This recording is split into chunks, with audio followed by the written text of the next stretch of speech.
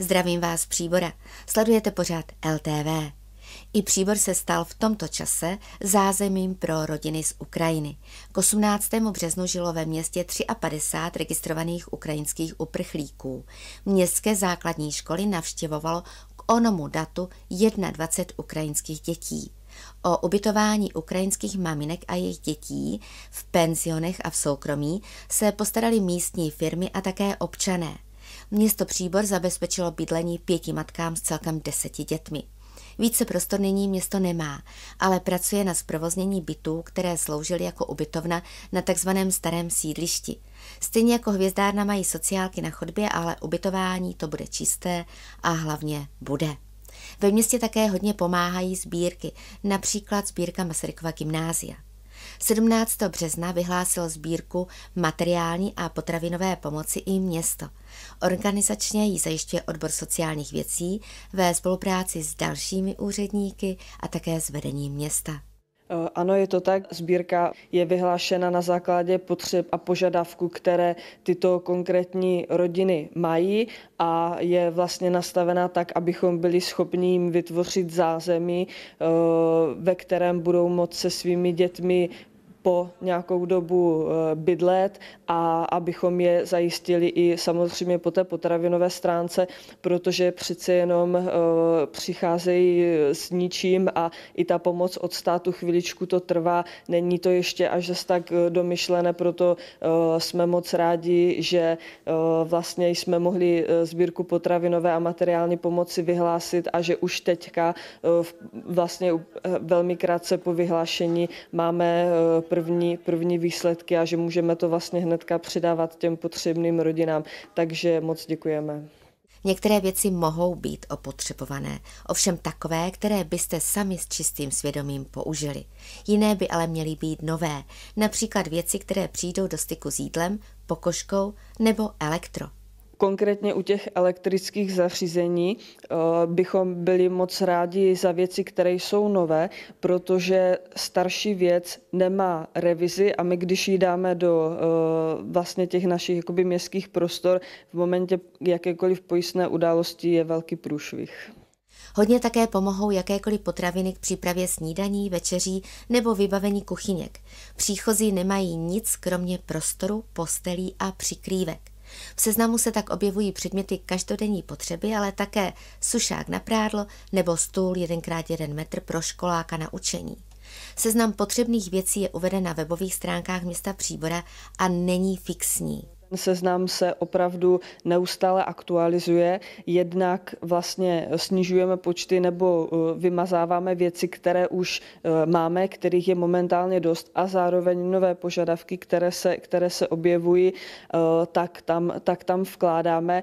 A byli bychom moc rádi, pokud by občané tento seznam sledovali, protože budou, budou zase, budeme schánět do budoucna určitě i věci, které třeba tam teďka nejsou, Eh, snad to už bude méně věcí, protože věřím, že teďka se nám podaří to základní zázemí vytvořit, ale opravdu budeme moc rádi, eh, když eh, ta podpora bude, bude, bude dlouhodoba a jménem svým i jménem všech, kteří tady našli zázemí, moc, moc děkujeme.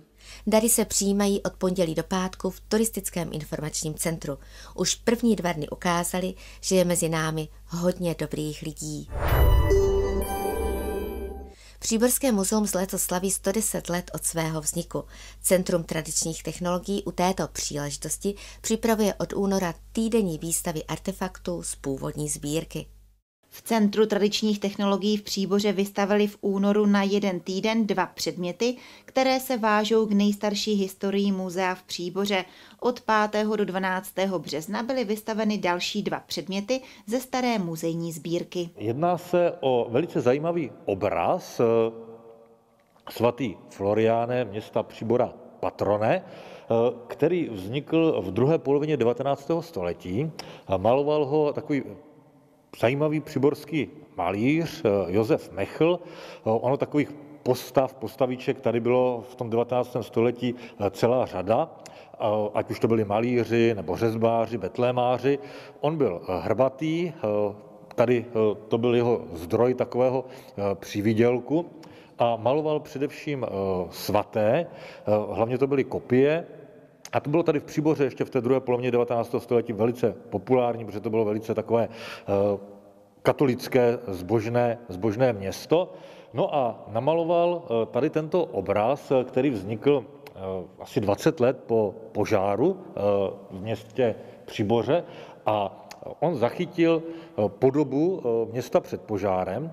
Nicméně je to takové zajímavé, protože on eh, jeho velice zaujal v město Frenštát, že tam stály na náměstí ještě dřevěné domy s, s podloubím a chtěli zakomponovat i tady do toho příbora a představoval si, že vlastně tady byli, protože on si to už úplně nepamatoval. Takže ten obraz vychází jednak z, ze skutečné podoby města a jednak z jeho fantazie. No a vidíme tam vlastně i kostelní věž a k té patří eh, další zajímavý předmět a to je eh, vlastně volský roh, na který troubil přiborský ponocný, eh, věžní hlídač. Poslední byl věžní hlídač Černoch, který tedy na něho naposledy vytruboval ještě na počátku 20. století. Další týdenní výstava zajímavých sbírkových předmětů je naplánována na týden od 2. do 7. dubna. Centrum tradičních technologií sídlí v Příboře v přízemí piaristického kláštera. Po 14. v novodobé historii Příbora se sešli lidé na náměstí, aby byli svědky masopustního veselí. Sešli se po roční přestávce. Nebýt covidu máme leto za sebou už 15. ročník. Na ten si ale rok počkáme. Uvidíme, třeba bude něčím výjimečný. Už přemýšlejte nad maskami.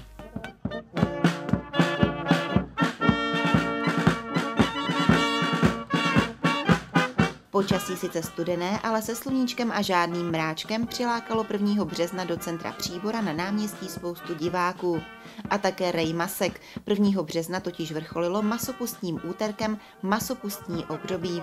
Povolení k průvodu Maškar městem udělil Jan Malík, starosta Příbora. Já bohužel nejsem starosta, já jsem chudý větnamský rolník. Ale i přesto jsem dneska donesl líhovinu z rýže. Líhovinu z rýže, slyšíme si? Tak doufám, že všem bude chutnat. A mohlo se výjít. Ke svižnému kroku i k tanci vyhrávala hudba pod taktovkou Zdeňka Sklenovského. Z náměstí průvod zamířil k prvnímu stavení pod kostelem svatého kříže. Paní domácí byla vytancována, maškary občerstveny.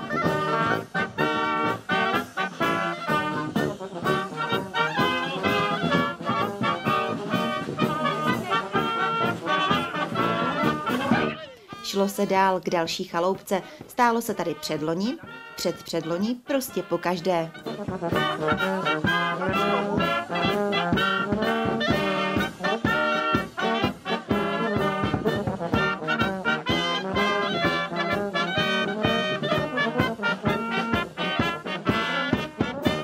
Za lávkou čekala průvod s maškarami už tradiční zastavení u domů, kde se ví, že rádi veselé maškary přivítají. Je to dobré, pěkné. Však co jsem říkala, že já nevím, kdy to bylo, teď jsem tu tancovala s Mořicem a vy jste to pouštěli jako a tak jsem se tam viděla.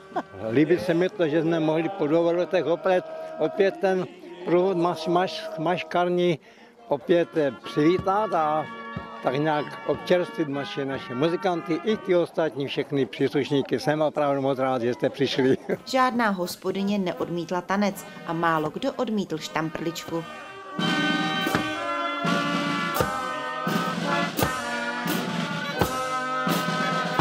Stůl s pochutinami nebyl u hostitelů výjimkou. Co se například podávalo? Párek opět e, obalený v listovém těstě, manžel pekl domácí chleba a do, domácí slanina k tomu byla. No a samozřejmě slivovička a pro malé dětičky různé druhy bombonů. Dětí bylo v průvodu tentokrát jako máku, přišly celé rodiny. My jsme přišli na Masopust, protože bydlíme v Příboře teprve od září a říkali jsme si, že je třeba to vidět. Tak asi tak. A zažít a dě- dětem udělat radost, tak oni si to užívají. Ukázat jim nějakou tradici taky. A kdo pak si průvod užíval? Kostlivec. A ty? Medvídek. Co se Kubíkovi a Agátce líbilo nejvíce? Co myslíte? Všechno. A to by se to něco líbí? Všechno. Do cíle cesty bylo ještě daleko, ale to nikomu nevadilo. Průvod i každá zastávka potěšila masopustníky, nemaskované i maskované. No, protože je to tradiční už dlouhodobá záležitost, takže se přidáváme, aby se tady něco dělo v tom příboře a je to fajn, když se zapojuje všichni v městě a je to fajn prostě. No já si myslím, že nálada je dobrá, ale trošku mě mrzí, že mohlo být trošku víc masek, ale jinak je to super. Je to krásné, výborné, skvělé. Užíváme si to.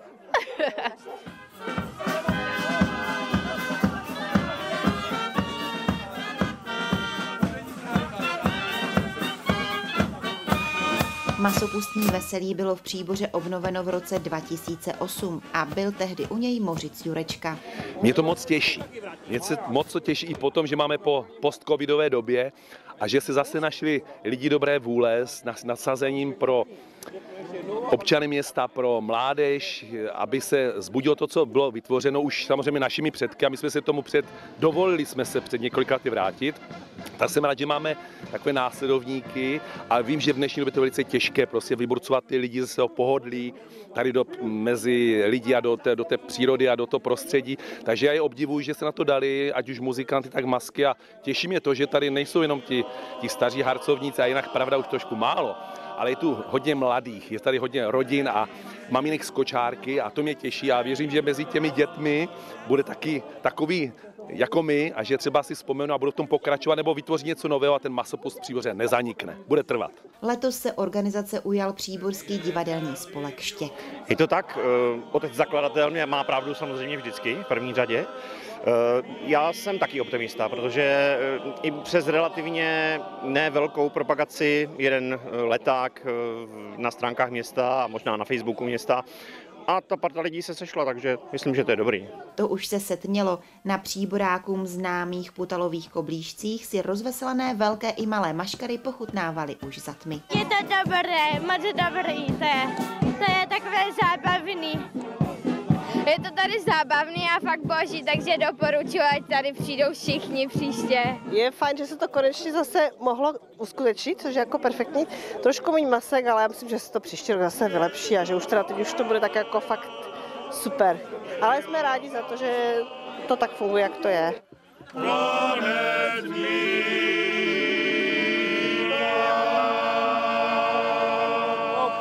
Z Benátek se spěchalo do kulturního domu.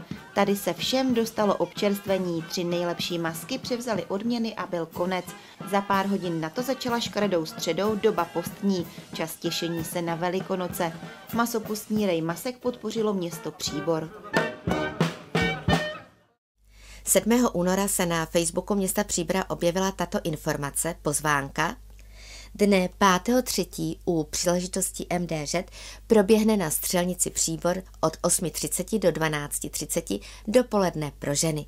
Akce je určena pro ženy od 18 let, které nevlastní zbrojní průkaz a chtějí si vyzkoušet střelbu. Nutná telefonická registrace. A co myslíte? Střelnice byla obsazená od rána na několik slibovaných hodin. Střelnice v Příboře ve spolupráci s městem nabídla ženám a dívkám k jejich svátku pár dní před Mezinárodním dnem žen možnost zastřílet si. Některé ženy ten den odradilo počasí, krásně nasněžilo, většina objednaných ale dorazila. Nabídka byla zveřejněna 7.2. ještě před vypuknutím války na Ukrajině. Nijak nesouvisela se současným válečným konfliktem. Proč ten zájem? Protože tady mám budoucí policistku tak jsem ji chtěla jako vzít, když to tady příbor nabídnul. Tak já už díl uvažuji, že bych si udělala zbrojní průkaz a teďka je asi ta chvíle. Tak to bylo takové spontánní, spíše pro zábavu, ale určitě mě to taky zajímá. Jako. Už jsem jednou střílela právě a chci to ještě jednou vyzkoušet. Jo, dcera mě přemluvila, takže jsem se nechala překecat, že to zkusím. A tak správce střelnice měl plné ruce práce. Přibližně co hodinu se věnoval nově příchozím, většinou dvojícím nebo trojícím žen a dívek. První část patřila instruktáži, seznámení se se zbraněmi, s jejich druhy, způsobem užívání i držení, z druhy nábojů s nabíjením. Přičemž teda nabíjí se to tady přes tu nabíjecí klapku, opravdu jak ty westerny, a spodní trubka je zasobník Kolik se tam toho vejde? Deset. Ženy si vyzkoušely, jak jsou jednotlivé zbraně těžké bez nábojů. Potěžkali si tréninkové malorážky, výstavní Winchesterovku model 1894, pistole celkovové i plastové. A také byly poučeny o bezpečnosti. Střílelo se nejdříve z pistolí.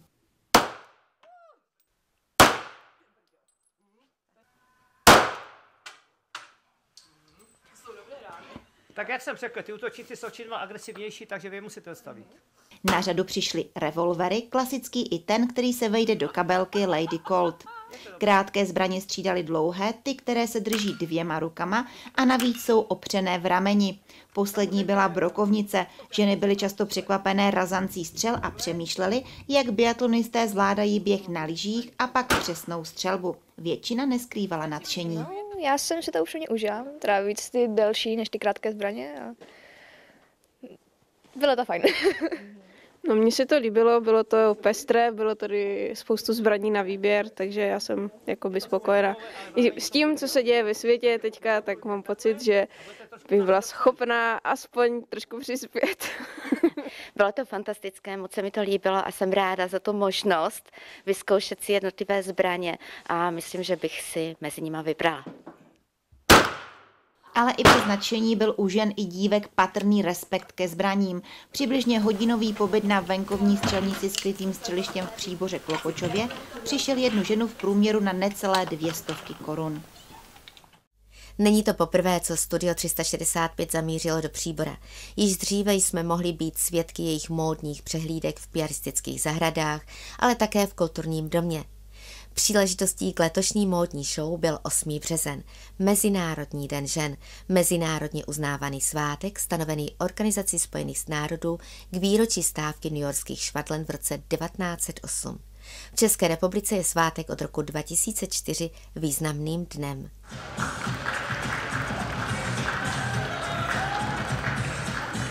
Město Příbor poprvé pořádalo k Mezinárodnímu dni žen Den pro ženu se studiem 365 v roce 2019.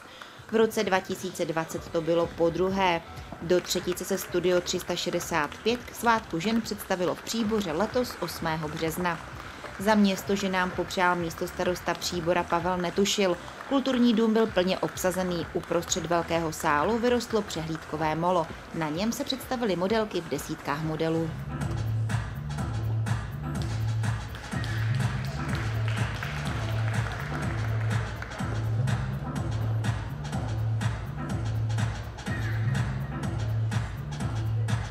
Tak já si troufám říct, že už je to taková pěkná tradice a dneska bych chtěla poděkovat publiku, bylo fantastické, přišlo ho hojně, takže cítíme, že to má smysl, ta práce, kterou tady odvádíme. Eh, bylo k vidění spoustu nádherných kolekcí, jaro léto se blíží, musíme trošku myslet si myslím pozitivně, takže hodně pestrých barev, eh, opravdu škála šatů, kalhotových kostýmů, ale i sportovně elegantních outfitů a úžasné brýle. Doplnili jsme to taky fantastickými květinovými vazbami, dekorací do vlasů, no, mohli vidět hosté kabelky, prostě trendy, aby se trošku odvázali, nebyli prostě takový úzkoprsí a byli odvážní v těch barvách. Přehlídka tak byla módní jízdou plnou barev, inspirace, nápadů.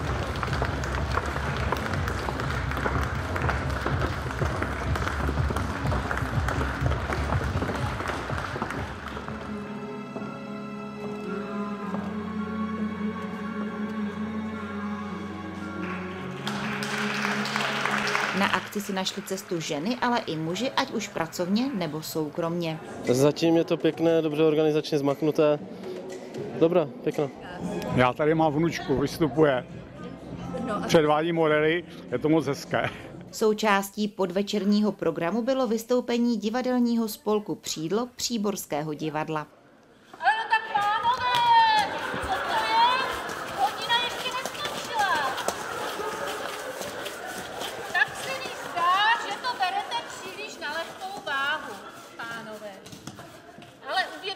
Sí.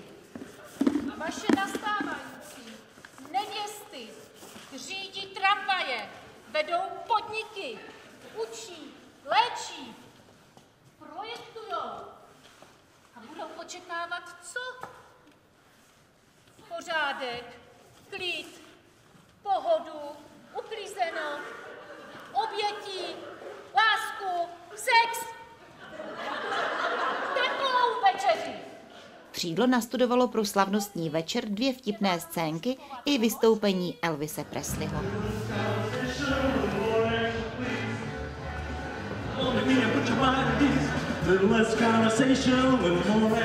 Po přestávce bylo možné si nechat změřit Body Master Index, takzvané BMI, a poradit se, jak ho zidealizovat. Předváděné modely, brýle, kytice i ozdoby byly k prohlédnutí ve foaje kulturního domu. No, dnešní den je moc hezký, příjemný a hlavně po takové době člověk vyrazil a potěšilo to toho člověka. Určitě příjemné zpestření a modelky jsou krásné, modely taky, takže všechno super. Je to úplně super. Mě tady kamarádka dneska vzala sebou, která už tady byla loni a reference byly úžasné, tak jsem si řekla MDŽ, tak se budu inspirovat a je to super. Fakt jsem nadšená. Modelky, modely, jídlo, osazenstvo, všechno mi úplně sedí. 100 korunová vstupenka byla slosovatelná. Dvě ženy si odnesly ze slavnostního večera poukázky v hodnotách 2,5 tisíce korun na nákup oblečení ve vybraných prodejnách. Základní škola a mateřská škola Gaudy připravili na 10. března zvonkový průvod městem a happening v Papaloce na Příborském náměstí. Na obou akcích voněly voné tyčinky, zvonily zvonečky. V Papaloce vystoupila školní hudební kapela Svoboda. K ní příště. Teď jdeme na náměstí.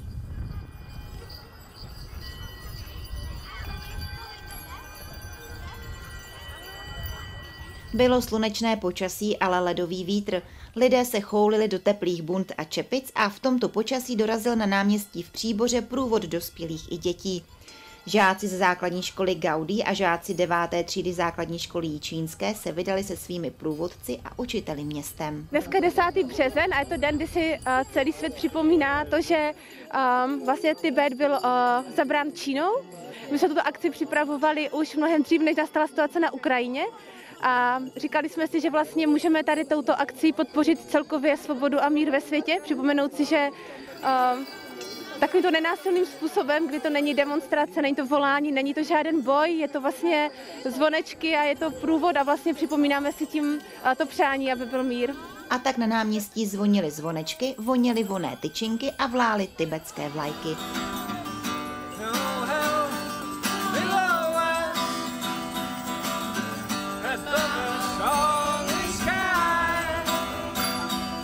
Než se průvod vydal do městského parku a zpět do škol, zazněla Lenonova Imagine s touhou po míru milovnějším světě. Odpoledne akce pokračovala v Papaloce na náměstí. O tom příště.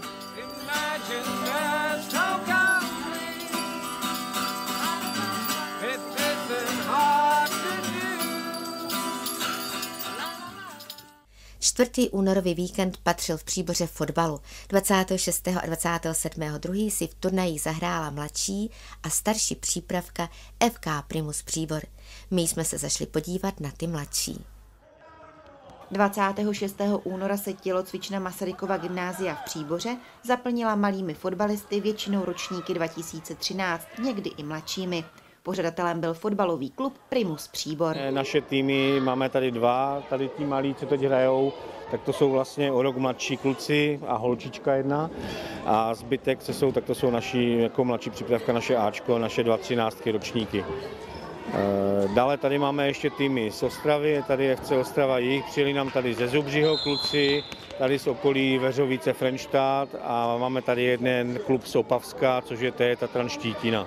Přijelo 8 týmů, maximálně možný počet na jednodenní turnaj. U těch mladších a starších přípravek, které nám hrají zítra, jsme měli obsazenost už v létě loňského roku plnou a museli jsme odmítnout i takové týmy, jako jsou třeba Vítkovice, kteří se přihlásili pozdě, měli zájem tady hrát, ale bohužel my jsme dávali přednost opravdu těm, kteří se přihlásili jako první. Zájem o hru je po covidové přestávce obrovský. My s našimi klukama jsme pracovali přes to období toho covidu, jak se dalo v rámci možností, omezeníma, které jsme měli a myslím si, že je to dneska vidět, že kluci se snaží Tady zrovna tihleti malí dneska teď dostali gol zrovna, tak jsou bohužel ještě o rok mladší než ostatní, ale zase za rok to budou všechno válcovat oni. Mladší přípravku v Příboře trénuje Ondřej Kopka. Řeknu to na rovinu, moje manželka je učitelka materské školce, takže to byla trošku výzva. Protože občas slýchávám, jaké to je, tak jsem si to chtěl vyzkoušet. A navíc vlastně můj špun začal hrát fotbal a potřebovali tady pánové pomoc, protože těch dětí bylo hodně. Já jsem vlastně začínal ještě s menšíma, s předpřípravkou, takže to jsou ještě o rok mladší děti. No a teď jsem s nimi jakoby dorostl do té mladší přípravky a pokračuju s něma dál. Sedmi a osmileté děti, nejmladší tým turnaje, hrál s chutí. Já jsem si vybral fotbal kvůli toho, že, že uh, mě nebaví hrát rukama. Protože mi se zdalo, že je to zatím nejlepší sport na celém světě, si myslím. Protože jsem chtěl kopat do míče. Favoritem turnaje byla od počátku Štítina. Oporou jí byl brankář. Mě to začalo bavit, protože já jsem si ve tří letech jsem si začal hrát s míčem, tak mě pak mamka přihlásila na fotbal a uh, hrál jako brankáře můj brácha, tak já jsem se od něho inspiroval a hodně mě to začalo bavit. Trenér družstva ze Štítiny pochází z Příbora. Čerstvě jsem začal trénovat rok, trénujem tady s klukama, jsem na ně hrdý, takže perfektní všechno. Zatím jsme všechno vyhrali, jedeme na první místo, jinak to nevidím.